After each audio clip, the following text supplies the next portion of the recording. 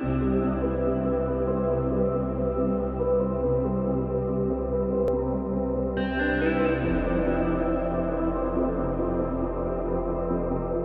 Laura, eh, ci racconti un po' di te, ti presenti, chi sei, cosa fai nella vita? Allora, sono una neolaureata magistrale in comunicazione e scienze sociali Mhm. e attualmente sto facendo un Erasmus Trainship eh, in Danimarca eh, con cui voglio cercare di entrare un po' meglio all'interno del mondo della ricerca e il prossimo anno provare un concorso di dottorato in modo da poter rimanere nell'ambito accademico e arrivare a insegnare. Sono una ragazza sarda di 28 anni che vive fuori ormai dal- da quando aveva 19 anni. Ehm, sono stata prima a Pisa per la triennale, successivamente mi sono spostata a Pavia per la magistrale. È un percorso un po' lungo e travagliato, però sto riuscendo ad avere insomma le mie soddisfazioni. Mm, sono una persona abbastanza solare, abbastanza ironica, eh, forse mm, mi mostro anche più ironica di quello che sono, a volte comunque più allegra di quello che sono in realtà, però insomma, Sui social, sì, come, come gestisci la tua comunicazione, diciamo? sui social è stata una cosa nata un po', un po' per caso, una cosa su cui scherzavo e poi sono stata spinta eh, sia dalla mia compagna sia da amicizie a provare a pubblicare dei video Mhm. e a scrivere dei post eh, per come mi veniva naturale scriverli. Quindi in generale gestisco in questo momento, sto cercando di creare dei contenuti un po' più organizzati e un po' più pensati, però tendenzialmente provo a raccontare la mia vita aggiungendo quel che riguarda la transizione, cercando di raccontare una vita che è sostanzialmente normale, ecco. Transessualità e Sud Italia. Hai detto di essere appunto sarda e quindi ti chiedo, ci racconti un po' di più su questi due mondi che fanno parte della tua vita? Eh, allora, essendo che vivo fuori da quando avevo 19 anni, non ho, ho iniziato invece il mio percorso di transizione più o meno un anno fa, non ho vissuto a pieno questo rapporto con il sud. Quello che posso dire del sud è che se fossi rimasta nel mio paese ci avrei messo molto più tempo a capire dove volevo andare e che dovevo iniziare questo percorso. Mentre comunque vivendo fuori ho avuto modo di avere scambi, aperture, conoscere insomma realtà diverse che in un certo senso mi hanno portato a riflettere su... Perché dici che rimanendo al sud eh, ci avresti messo molto più tempo? Perché la realtà in cui vivevo, quella del mio paese, è un pochino più chiusa, un pochino più stretta, meno mm, stimolante e quindi mi avrebbe lasciato ancora magari molto ignorante su alcune cose e mi avrebbe anche impedito di conoscere persone eh, in questo senso stimolanti, persone che comunque con cui tramite lo scambio di opinioni, di racconti, di esperienze ho potuto anche formarmi già un- un'idea eh, sia di quello che sarebbe stato il percorso sia in generale del mondo eh, LGBTQI eccetera. Certo. E quindi del sud posso dire che quando torno a casa, da quando ho iniziato la transizione, comunque avverto un modo di guardarmi molto più morboso, molto più interessato, molto più curioso di a quello che vedo in Nord Italia. Eh, d'altro canto mh, sono anche rimasta positivamente colpita dal fatto che tante persone con cui magari non avevo rapporti del mio paese hanno iniziato a dialogare con me in maniera diversa. Quindi Come te la spieghi questa cosa? me la spiego col fatto che prima eh, di iniziare la transizione tendevo a essere molto più chiusa forse, Mm. un po' più chiusa in me stessa, un po' meno spontanea, ehm, mi vergognavo sostanzialmente di tutto quello che facevo e non riuscivo a spiegarmi perché, però di fatto porta anche ad avere magari meno conoscenze, meno, meno amicizie. Ecco. Chiaro. Eh, tre aspetti che consideri divertenti nella transessualità, di cui nessuno parla mai. Allora, mm, ho avuto molta difficoltà a trovare tre aspetti, quindi mm, forse ti racconto tre episodi che Sì. è meglio. Allora, per- quando sono di buon umore è abbastanza divertente osservare cosa, fa le- cosa succede alle persone mentre ti stanno fissando. Quindi mi è capitato più volte di beccare qualcuno che, non so, inciampasse una signora tempo fa che in un centro commerciale è caduta dalle scale mentre mi fissava e per fortuna non si è fatta nulla. sì, per fortuna non si è fatta nulla, però quindi questo è un aspetto che eh, mi diverte. Poi c'è stato un aspetto legato al, al Covid all'utilizzo della mascherina, mm-hmm. che comunque eh, coprendo buona parte del viso certe volte aiuta a passare fino a quando non devo parlare e a quel punto c'è sempre un momento in cui sentendo la mia voce la gente si, insomma è come se o capisca qualcosa o comunque si ponga ulteriori dubbi però è abbastanza divertente cerco di prenderlo in maniera divertente il terzo aspetto invece è un po' più generale credo spero che riguardi tutti e che non siano solo mie, miei problemi sono stati soprattutto all'inizio la scoperta e la scelta dell'abbigliamento. Mm-hmm. Ho sbagliato a comprare una marea di volte taglie, cose che non mi servivano. Cose... un po' a tentativi. Sì, esatto, è stata una fase molto rapida di quindicenne che per fortuna è finita presto, in cui pian piano ho iniziato a recuperare terreno. Questo eh, però riguarda decisamente tutti, hai ragione. Bene, meno male. Quindi sì, acquisti sbagliati, ecco. Ok. A volte con risultati divertenti. E invece parliamo del mondo del lavoro. Eh, quanto conta oggi, secondo te, l'aspetto estetico e quanto le competenze individuali? So che tu ne hai parlato un po' anche sui tuoi canali, quindi volevamo un po' capire il tuo punto di vista.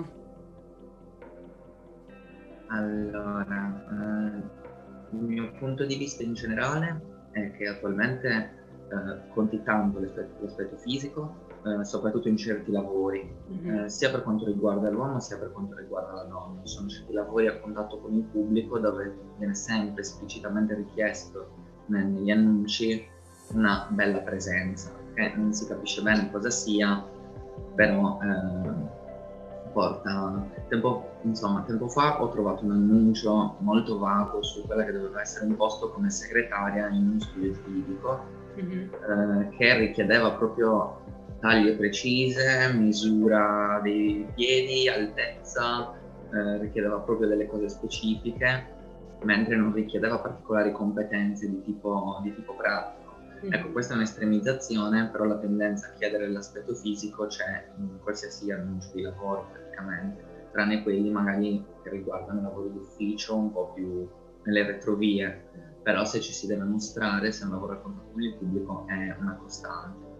Per la mia esperienza, che non è stata chissà quanto eh, grande, cioè nel senso io ho lavorato um, quasi un anno togliendo i mesi del, del lockdown come babysitter, è stato un po' strano trovare un lavoro del genere perché è uno di quei lavori in cui mh, puoi trovare eh, diciamo più paure da parte del, delle famiglie, delle persone, insomma eh, sono stata fortunata ad essere assunta in un'azienda che comunque non aveva nessun tipo di pregiudizio e anzi mi ha aiutato a trovare le varie famiglie mettendo un, un paletto davanti. Io vi dico chi è Laura, che percorso sta facendo prima che lei si presenti, così evitate di offendere lei, offendere noi e così via. Ci sono state delle occasioni in cui delle famiglie hanno rifiutato che io andassi, eh, quindi senza neanche vedermi, conoscermi, quindi no,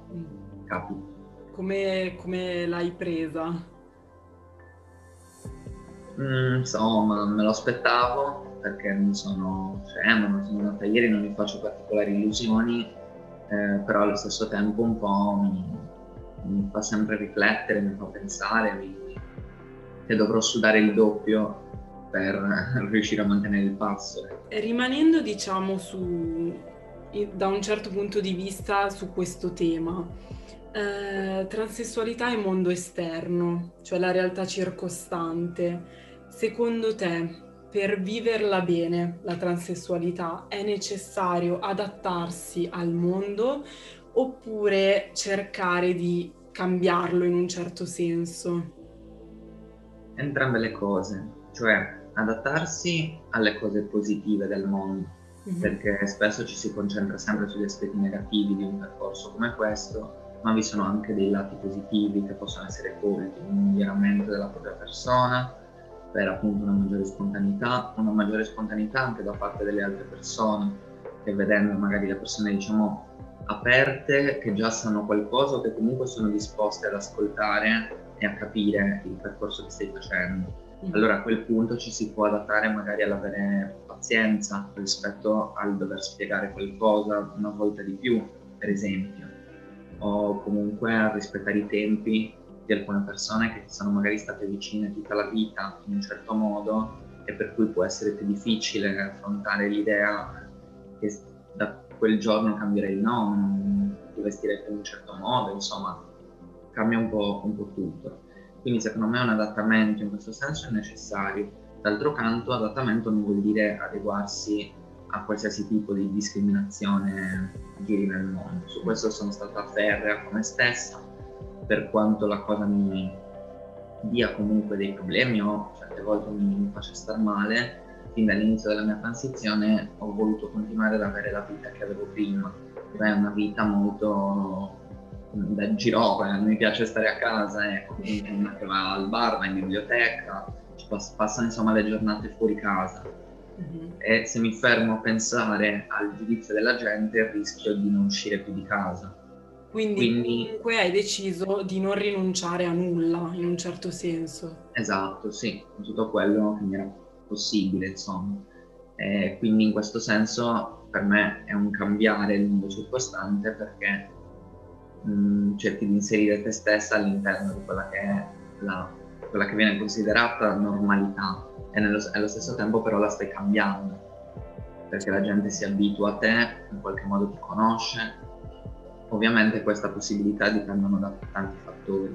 Mm-hmm. Ci sono situazioni in cui questo può non essere favorevole, si può vivere in realtà molto più chiuse di quella che è Pavia o Milano, appunto, e quindi avere difficoltà molto maggiori tutto un po' da contestualizzare.